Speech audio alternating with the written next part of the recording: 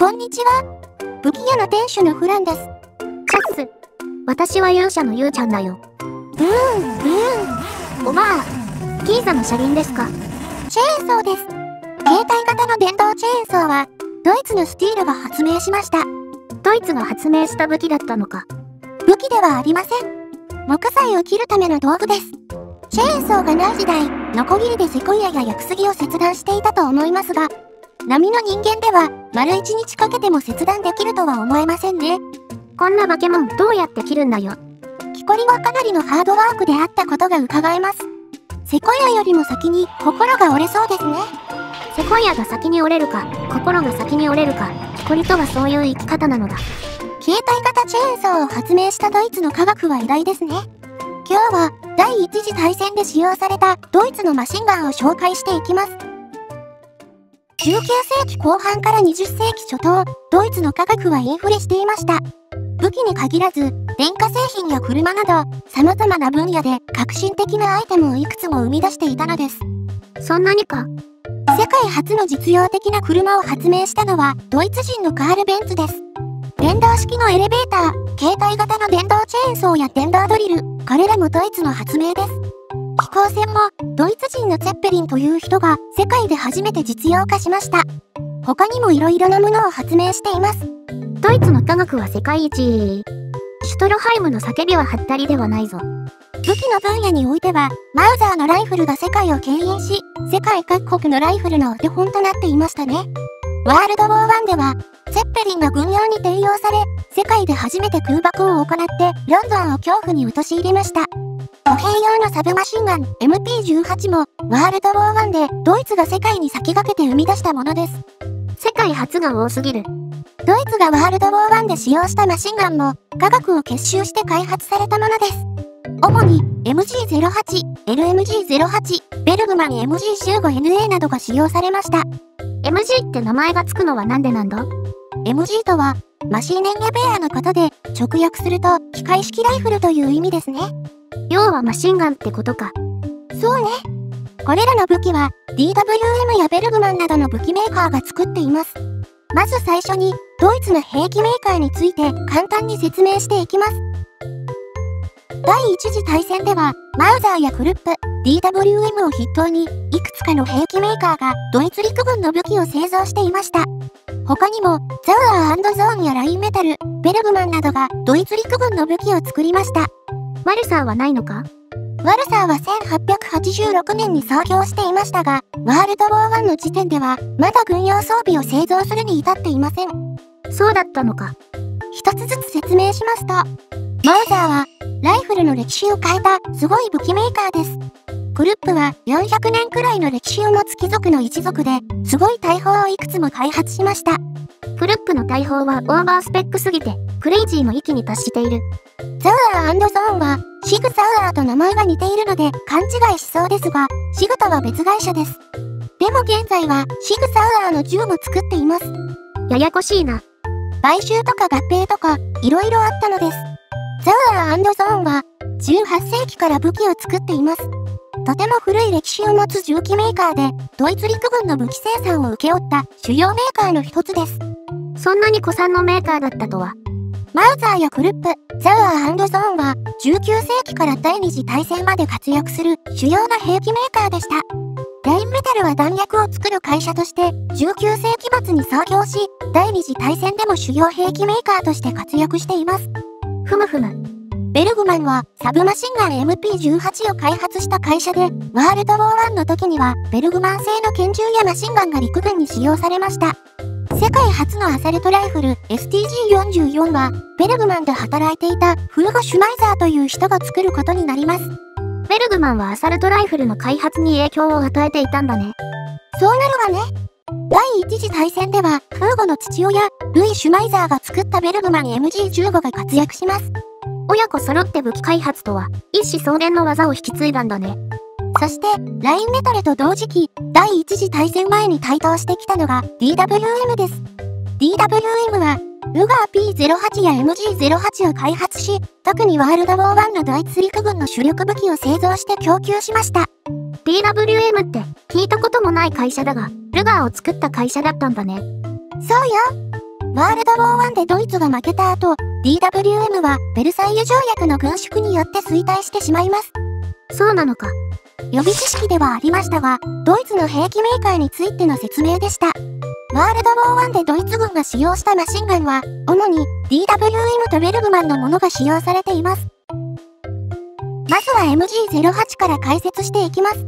MG08 は、ドイツ軍で最も使用された主力マシンガンです。これがワールドウォー1のドイツ軍主力マシンガンか。1908年に DWM が開発、製造したヘビーマシンガンね。この MG08、イギリスのマキシムガンを元に作られたものです。マキシムガンを発明したハイラム・マキシムから権利を買って、ドイツで製造を始めたのが MG08 です。マキシムガンの改造版だったのか？じゃあ、イギリスのビッカースマシンガンと似たようなものか？だいぶ似ているわね。似ているというか、ほとんど同じですね。水冷式なので、重心の周りにはウォータージャケットがあります。水筒みたいになっており、水を入れて重心を冷やします。完全にビッカースマシンガンと同じだ。ああ、じゃあもうウォータージャケットで沸かしたお湯で紅茶を飲むオチじゃないですか。ドイツではコーヒーが多いそうです。なので、MG08 で沸かしたお湯でコーヒーを飲んでいたのかもしれません。そうなると、水の代わりにおしっこも入れていたと水冷マシンガンは水がないと使えないので、イギリスではおしっこを使って冷やすこともありました。臭くなりそうだな。ドイツ軍でもその方法が使われたのかはわかりません。MG08 にもやはり蒸気を逃がすための穴があり、ホースで繋がっています。下に垂れているやつだね。弾を打ち続けると、ウォータージャケットの水が沸騰して湯気が出ます。湯気が空気中に逃げると水がなくなるので逃がさないようにしています。コースで繋いで回収用のタンクに蒸気を集める仕組みね。この辺りの説明は、ウィッカースマシンガンの動画で詳しく説明しているぞ。詳しく知りたい方は、そちらの動画をご覧ください。アクションは、ウィッカースマシンガンと同じ、トグルロックショートリコイルです。イギリスのマキシムガンやウィッカースマシンガンは、重いですが高性能でした。この MG08 も同じように、重量はありますが、動作は安定していて、優れた性能ということですね。ウィッカースマシンガンと同じものと考えていいのかも。違いはあるのかな？使用弾薬の違いですね。イギリスは303ブリティッシュですが、ドイツは 7.92mm マウザー弾です。この違いから MG08 の方が攻撃力が高いと考えられます。おう、そういうことか。ドイツ軍は 7.92mm マウザー弾を改良したマウザー S パトローネという弾薬を開発していました。S パトローネは弾道性能が非常に高く、MG08 で発射した場合、射程は3キロを超えます。ウィッカースマシンガンの射程は2キロ程度ですね。1キロも違うというのか？他の違いはもう一つあって、これは欠点になるけど、MG08 の方が重いわね。ウィッカースマシンガンが三脚と合わせて45キロほどですが、MG08 は65キロを超えていました。それはかなりの重さだね。MG08 は荷車に乗せて運ぶか、雪のあるところではソリに乗せて運びました。ソリで調子こいて残壕の穴に落としたりしないだろうな。多分、そういう事故もあったと思いますよ。連射力はウィッカースマシンガンとほぼ同じで、毎分500発ほどでした。使ってる口径と重さ以外は、ほとんどウィッカースマシンガンと同じですね。ふーむ、なるほど。MG08 はワールドウォー1で非常に活躍したマシンガンで、第二次大戦まで活躍する成功兵器ですね。ドイツのマシンガンは、この MG08 をベースに開発されていきます。LMG08 も、ベルグマン MG15 も、この MG08 から進化した武器なのです。ということは、ドイツのマシンガンは大体 MG08 ってことか。大体そういうことになるわね。LMG08 について解説していきましょう。LMG08 は MG08 から発展したパラベラム MG14 というマシンガンの改良版です。使用弾薬は 9mm パラベラムってことか。違います。7.92mm マウザー弾です。なぜだ？パラベラム MG14 はマシンガンで、ライフル用の弾を連射する武器ですからね。9mm パラベラムは拳銃用の弾です。なるほど、そういうことか。まず、パラベラム MG14 が1914年に完成します。MG08 をベースに航空機に搭載するためのマシンガンとして開発されました。飛行船のツェッペリンにも搭載されたようです。対空機銃なんだね。空を飛ぶと重心がよく冷えるので、ウォータージャケットは必要ありません。空冷式のマシンガンです。ウィッカースマシンガンと同じ流れだな。となると、プロペラ同調機能もあったということありました。プロペラ同調機能とは、プロペラの回転とマシンガンの発射サイクルをシンクロさせる装置です。マシンガンをプロペラの真後ろに設置しても、同調機能が働いて、プロペラを撃ち抜くことはありません。操縦席の正面に機銃があれば、狙いやすいという利点から開発された技術ね。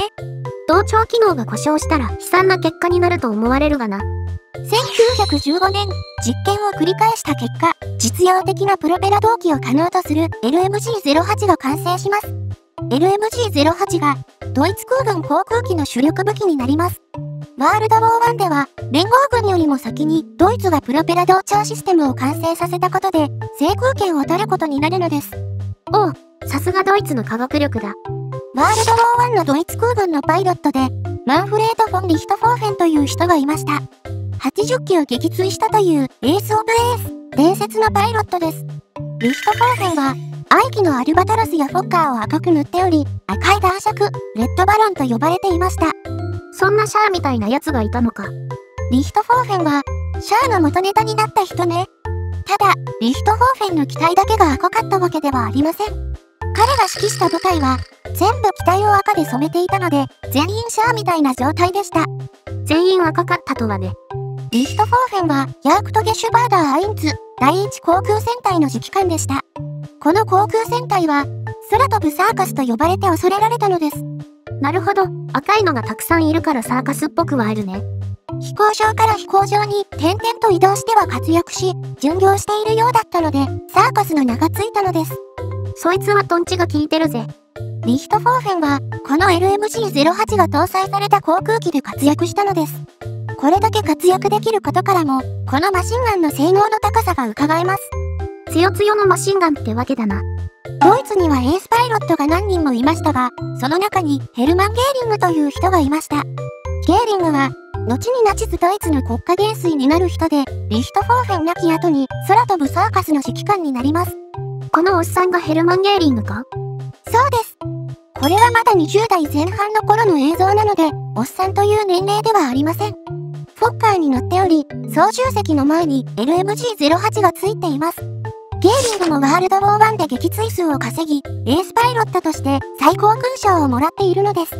ゲーリングのルーム戦役のガヤくらい活躍したってことだな。そうなりますね。ベルグマン MG15NA について解説していきます。第二次大戦で使用された航空機用の MG15 マシンガンとは別物です。ややこしいな。15NA は歩兵用のライトマシンガンですが、航空機用としても使用されました。ドイツは第一次大戦の開戦当初、ライトマシンガンを持っていなかったので、開発が急がれました。戦いが始まってからライトマシンガンを開発したわけか。そうね。敵対していたイギリスやフランスはライトマシンガンを持っていました。特に、イギリスのライトマシンガン、ルイスガンは驚異的な武器だったので、早急な対策が必要でした。フランスの勝者を忘れてもらっては困るな。勝者は欠陥品でした。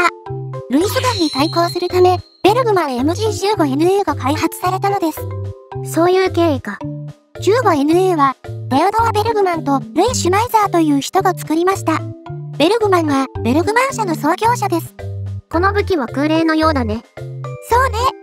最初、ドイツ軍は水冷式のライトマシンガンを開発して装備していました。しかし、水冷は重いという致命的な弱点があるので、歩兵が持ち運ぶには大変です。15NA もその点を鑑みて空冷に改造されてドイツ歩兵の装備になります。そうしてもらえると助かるよね。クソ重たいものを持って走りたくないのだ。重さは13キロくらいで、イギリスのルイスガンと同じくらいの重さです。なるほど。ってことは、イギリス軍の行軍速度に遅れを取ることもないね。そうなるわね。ただし、フランスの勝者は重さが9キロほどで軽く、行軍速度ではフランス軍歩兵に遅れを取ることになります。まあ、勝者は欠陥品だから。15NA の中の構造がどうなっているのかはわからないですが、ショートリコイルのマシンガンということです。いろいろ試行錯誤と改良がなされ、1916年に完成品として実戦配備されます。ところで、NA って何なん？ノイアーと新しい種類という意味です。なるほど。ベルグマン MG15NA はドイツ軍の標準的なライトマシンガンとして活躍します。ただ、空冷のために冷却力は低く、250発ほど連射するとオーバーヒートで機能停止してしまいます。発射速度が毎分500発ほどなので、30秒連射し続ければ止まります。30秒か。冷やしながら戦うしかないですね。ドイツでは、歩兵が交代しながら撃つことで、オーバーヒートまでの時間を稼いでいました。継続的な連射が必要とされる場合には、MG08 を使っていました。MG15 は、戦中に開発されたこともあり、ドイツではやはり圧倒的に MG08 が地上部隊の主力武器として活躍していたのです。他にはガストガンというマシンガンもありました。ダブルバレル、ダブルマガジンのマシンガンで非常に高速な発射速度を実現したものです。毎分1600発の連射が可能でした。圧倒的じゃないか。ですが、このマシンガンはほとんど製造されておらず、戦いにも使われていません。試作品が作られたのみで、戦いが終わってしまいます。開発が遅すぎたのか。そうですね。しかし、これだけ発射速度が高くて、果たして冷えるのか、疑問がありますね。毎分1600発だもんね。2本のバレルがあるので、1本の負担は毎分800発ですが、それでも連射力が高いです。形からしても空冷なので、すぐにオーバーヒートしてしまいそうですが、火力だけがインフレしてしまったって感じがする。ドイツでは MG08 を基礎としたマシンガンが使用されました。結局、MG08 はイギリスのマシンガンを基礎としているので、性能は英仏軍のものとほぼ同等ですね。うーむ、それで西部戦線の戦いは膠着状態になってしまったんだな。ドイツは第一次大戦中、西と東から挟み撃ちを受けても戦いを有利に進めることができました。最終的には負けてしまいますが、軍事力や科学力、戦略や戦術のレベルも非常に高水準であったことが伺えます。うむ、すべてはシュトロハイムの叫びに帰結するのだ。武器屋のお姉さん。というわけで、ドイツ軍がワールドウォー1で使用したマシンガンの紹介でした。MG08 ってのが主力だったんだね。それが一番使われていました。MG08 はイギリスのマキシムガンを元にしていますので、イギリスの科学もすごかったと言えますね。第一次大戦の頃までのイギリスの武器を見ていくと、本当に優れたものが多いです。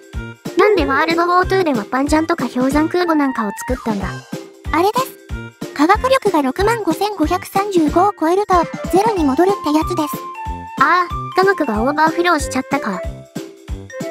というわけで、ご視聴ありがとうございました。ありがとうございました。面白かったらチャンネル登録してくださいね。よろしく頼むよ。